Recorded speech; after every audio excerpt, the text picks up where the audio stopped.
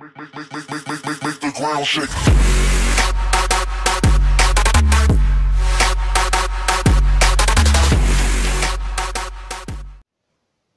vsi, danes imam, um, danes se sama zahvaljujem isto, kot sem se zanj za 10 tavžent ogledal, se imamo že 12 tavžent.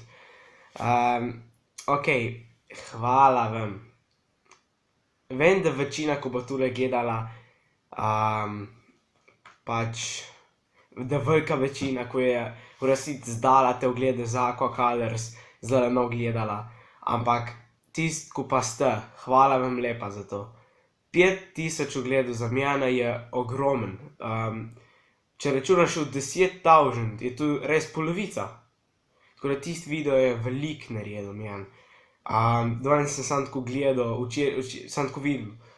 4996, odeš tiste štiri, evo, sem šel čez pol ure gor, tiste štiri oglede sem dobil in uh, res sem vesel bil, no. Uh, lej, vs, vsi vi, ko gledate, uh, res hvala vam, da gledate te posnetke. Vem, da vam je bil tisto očitno všeč, ker sem tudi dobil 37 lajkov, ne. Najprej tiste 3 dislike, približno vem, kjer sem jih dal. Um, ampak še to kar tako, ne.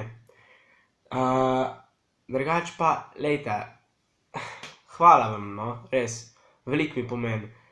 Um, to je bil res tista, to je bila res tista inspiracija, da sem še naprej začel delati YouTube in to je, to je res veliko, no.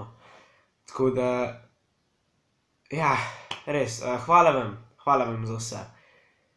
Ok, v takem primeru pa, hvala, ker ste gledali in se vidimo naslednjič.